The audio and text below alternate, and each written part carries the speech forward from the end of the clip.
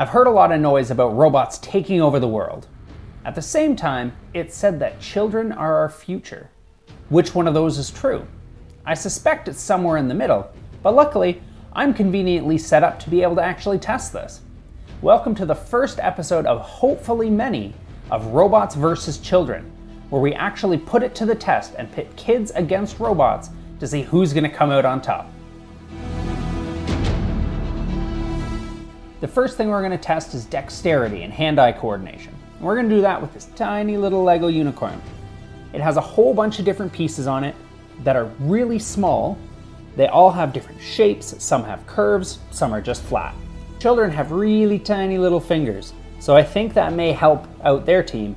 But at the same time, robots have collaborative grippers and force torque sensors. So hopefully it'll be a really good contest to see who actually wins. Here's how this works. Once a competition is announced, the teams have 24 hours to prepare before the bout. Since there are a bunch of different skills to test, this is going to be multiple videos, so make sure you subscribe so you get notified as this series progresses. First up is Team Children. The captain here is Barbara, very experienced wrangling small humans, and the competitor for this bout is Maddie. Madeline is training hard, This is Maddie preparing her special move, the Tongue of Concentration. Why do you think you're gonna win? Because I'm free and a three-year-old can build faster than Herman. Why is Herman slower than you are? Because he doesn't have fingers like us. Have you been doing lots of practicing? Five practicing. Herman's got some good competition. Go Team Children. Proper fuel and relaxation is essential to any athlete. Do you think Maddie is ready for the competition? Uh, she's been practicing really hard.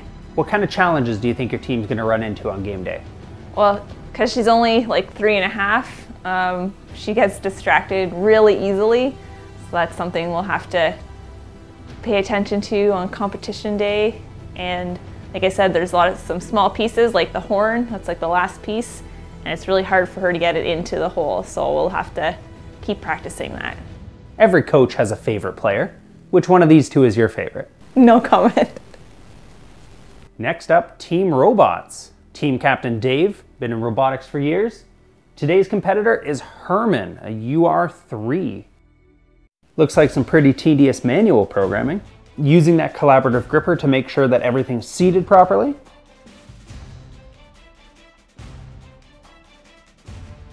Look at that focus.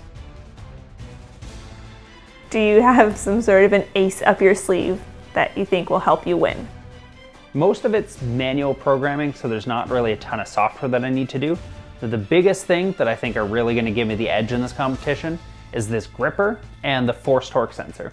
The gripper's collaborative, so I can control exactly how much it opens and closes, how fast and what kind of speed it opens and closes with. I've also 3D printed some custom fingertips on here just to make sure that I can grab these teeny tiny little pieces. And then the force torque sensor is a better way for the arm to actually feel what it's doing. So as it's putting pieces together, it can measure if they've gone together, if it missed, it can slide until it hits things. So I think that's kind of going to give me the edge in this competition. Do you have any areas that you're worried about with Herman? The biggest thing is just that these pieces are super, super tiny, but also have a really tight tolerance. So if there's any sort of inaccuracy in the system with how they're fixtured or how they fit together or how the gripper picked them up, it'll completely screw everything up. So I really hope that I can keep this accurate and consistent, which again, the gripper and the force torque are kind of the keys to making that happen. Combatants ready? Three, two, one, fight. Herman's off to a slow start.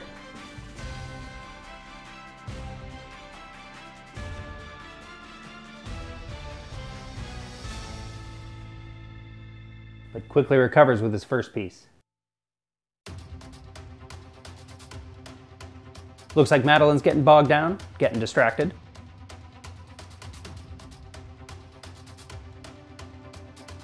She needs to focus if she's going to catch up.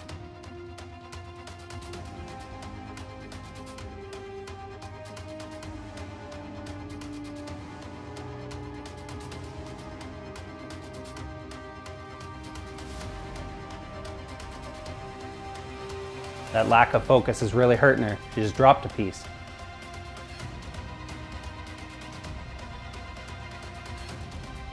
Recovered by getting her first piece on just as Herman gets his fourth.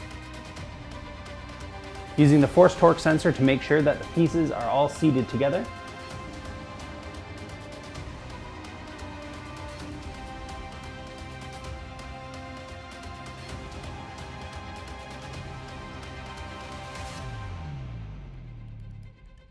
A little bit of strain putting that piece in, but Maddie finally got piece number two.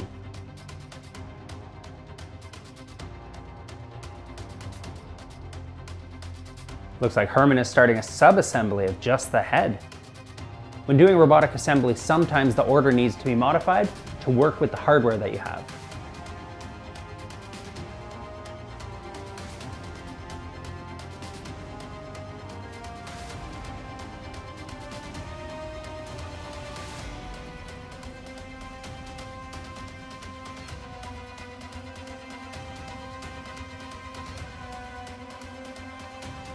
Looks like Maddie's finally getting a little bit of rhythm going. She's got part of the mane and tail done and the back. She's now moved on to the head.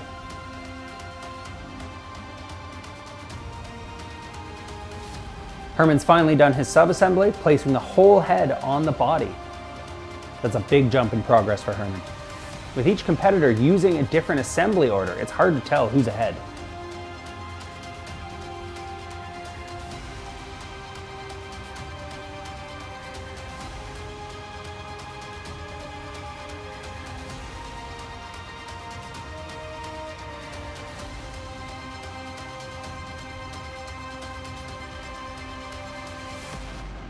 Maddie's down to only three pieces left.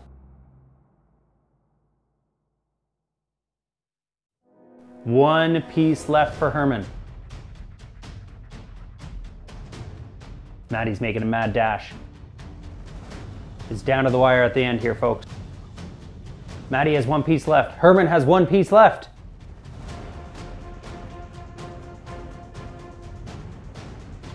They're both done. That was too close to call.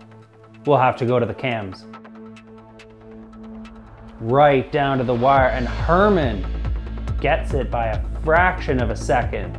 Maddie is still very proud of what she's done though. I'm really happy, but not super surprised that we won. It was definitely closer than I thought it was gonna be though, so that was pretty tight at the end. All of it was manual programming, which I am now reminded how much I hate. Luckily, the force torque and the gripper have a special program right on the controller that makes it a little bit easier to do, saves you a little bit of time, but manual programming still sucks. Hopefully for future competitions, we'll be able to leverage things like deep learning, machine vision, that kind of stuff. Well, robots have snagged their first point, but I don't know how much longer this is gonna last. If you have any other applications that you think that kids or robots can do better, put that down in the comment section and we'll see about adding it to a future competition. Also make sure to subscribe so when those new competitions come out, you get notified about it. Robots are awesome, thanks for watching, and I'll see you next time.